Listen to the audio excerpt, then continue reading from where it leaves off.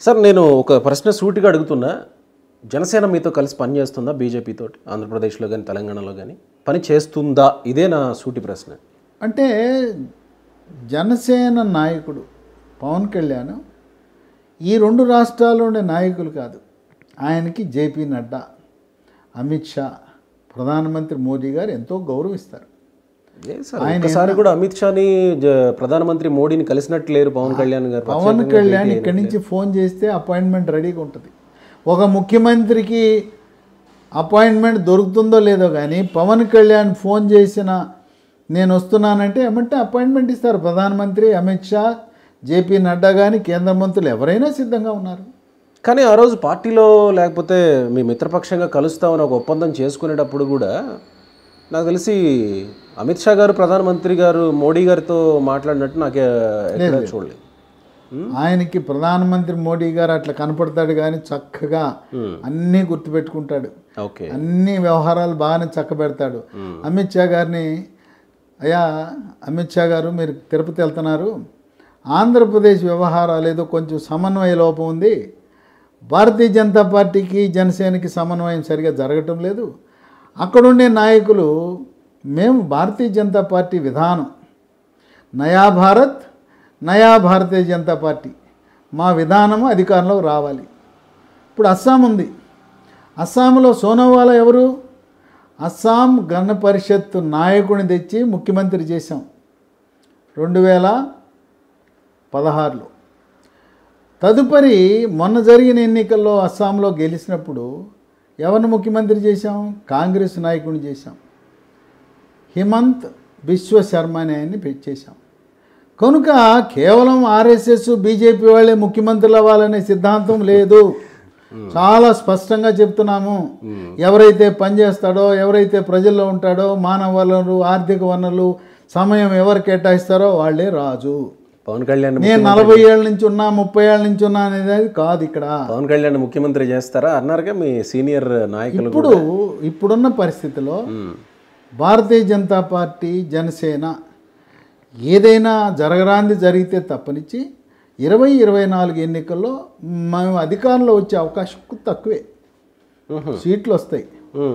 కానీ మేము ఏది జనసేన బీజేపీ కలిసి పోటీ చేసినా కానీ అధికారంలోకి వచ్చే అవకాశం. కష్టం ఇప్పుడున్న పరిస్థితుల్లో. అదేంటి సోమవీర్రాజు గారు మా ముఖ్యమంత్రి అభ్యర్థిగా పవన్ కళ్యాణ్ని అనుకుంటున్నాం. అమిత్ షా గారు కూడా చెప్పారని ఏదైనా వండర్స్ జరిగి మాకు ప్రజలు పట్టం కడితే మా ముఖ్యమంత్రి జనసేన నాయకుడు Pawan Kalyan. Pawan Kalyan okay fine. ఇంకో ఊహాగా కానీ ఇప్పటికిప్పుడు జనసేన మీతో కలిసి పని చేస్తున్న ఎక్కడ పని అంటే చేస్తున్నట్టు కొంత ఎక్కడ అనిపించలేదు? సమన్వయ లోపం ఉంది. తిరుపతి ఉప ఎన్నికల్లో కనిపించలేదు ఇప్పుడు బీజేపీ జాతీయ స్థాయిలో కేంద్ర ప్రభుత్వం ఉన్నా. ఆంధ్రప్రదేశ్ వరకు మాకున్న పరిస్థితి ఓట్ల శాతంగా కానీ లేకపోతే ప్రజాదరణలో కానీ జనసేనకి కొంత ఆధిక్యత ఉంది. ఆ సమన్వయం కొంతవరకు మెరుగుపరచవలసిన అవసరం ఉంది. ఎవరు ఎక్కువగా ఇక్కడ ఆధిక్యం ప్రదర్శించాలని చూస్తున్నట్టు ఏదైనా కూడా మేజర్ పార్ట్నర్ అంటారు. మనం కంపెనీ ఉంది. యాభై ఒక్క శాతం పెట్టుబడి పెట్టిన వాడే కదా చైర్మన్ మేనేజింగ్ డైరెక్టర్ ఏది? జనసేనకి జనాదరణ ఎక్కువ ఉంది. సో ఇప్పుడు ప్రజాప్రతినిధులు ఎక్కువ ఉన్నాయి. కొంతమంది ఏం చెప్తున్నారంటే జనసేన వాళ్ళతో కలిసి మనం బీజేపీ పనిచేయాలి. ఓకే ఇప్పుడు బీజేపీతో కలిసి జనసేన చేయట్లేదు జనసేనతో కలిసి బీజేపీ చేయాలి. ఓకే కానీ చేయట్లేదు ఎక్కడ దానికోసమే అమిత్ షా గారు. ఈ సమన్వయం తేవటానికి. ఇప్పుడు పవన్ కళ్యాణ్ ఒక సభ పెట్టాడు నయా పైసా ఖర్చు లేకుండా రెండు తెలుగు రాష్ట్రాల్లో యాభై వేల మందిని లక్ష మందిని రెండు లక్షల మందిని జమ చేయగలిగింది ఒక్క రూపాయి ఖర్చు చేయకుండా ఉండే ఏకైక నాయకుడు ఏకైక పార్టీ పవన్ కళ్యాణ్. ఎవరన్నా ఉన్నారా చెప్పండి? డెఫినెట్గా ఉన్నారా తెలుగు రాష్ట్రాల్లో? లేరు. అటువంటి నాయకుడిని మేము ఎందుకు కోల్పోతాం? ఉమ్.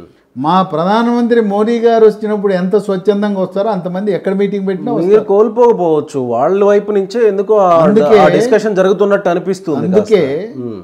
జనసేనతో ఆయన యొక్క సేవలను సరిగా మనం వినియోగించుకోవట్లేదు. సమన్వయంలో కొంత తేడా ఉంది. తర్వాత తిరుపతి ఉంది. ఆయన తిరుపతి నేను నేను నిలబడతాను అన్నప్పుడు వదిలేయాలి ఆయనకి. ఇప్పుడు పునరాలోచించుకుంటే తిరుపతి హిందుత్వం అంటే తిరుపతి అంటే ఇచ్చే వేసేస్తారా? తిరుపతిలో బలం ఆయన అడిగాడు. మా అన్నగారు చిరంజీవి గెలిచాడు.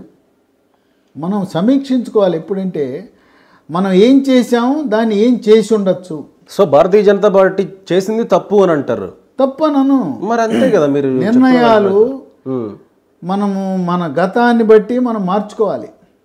నా వరకు వ్యక్తిగతంగా ఆ రోజు ఆయన అడిగాడు. కావాలన్నాడు. మా బలిజ సామాజిక వర్గం ఉన్నారు. తిరుపతిలో మా అన్న చిరంజీవి ఎమ్మెల్యే గెలిచాడు. మాకు ఇవ్వండి అయ్యా అంటే ఇచ్చేయాలి. అక్కడ ఇవ్వకుండా బద్వేల్లో వాళ్ళకి బలం లేదు. బద్వేల్లో కూడా ఉన్నారు బలిజలు.